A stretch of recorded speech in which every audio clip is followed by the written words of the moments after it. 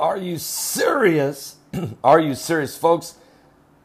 Another series of eruptions in Hawaii as the big island is now a river of lava.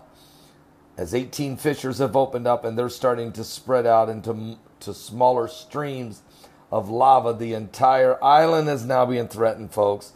Thousands of people are being threatened and could be trapped in an island inferno. According to reports, seismologists as well as volcanologists and meteorologists are saying that the situation around Hawaii's Big Island volcano is growing more serious by the hour. This is breaking news, urgent report. Uh, are you serious? Another crack has just opened up in the earth, sending more lava to the surface and threatening more homes.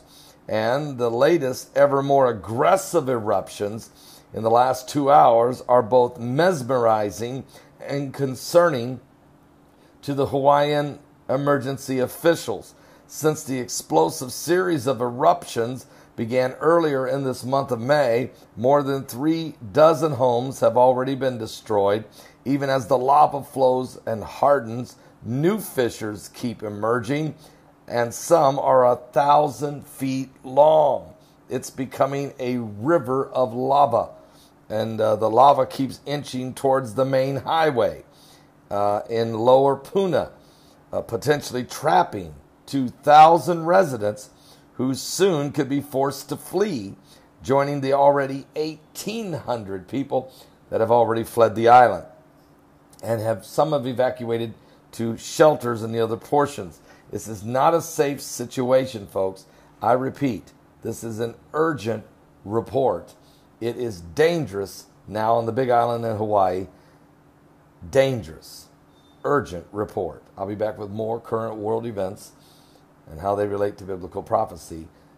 The death toll now here in India has risen to 100 due to the massive dust storms, lightning, hail, and the early monsoon rains are beginning. I personally have been in three major uh, lightning storms and dust, one dust storm, and two two other lightning storms. The dust storm here was so uh, it came out of nowhere, and the dust, you could sand in my eyes. Fortunately, I'd gotten inside this hotel just a few minutes before it happened. The power went out here for a while, and then the rains came, the hail, the lightning strikes. It's been uh, intense. Uh, we're in an apocalyptic last days. This is the fig tree generation, folks. You're in the end times. Are you serious?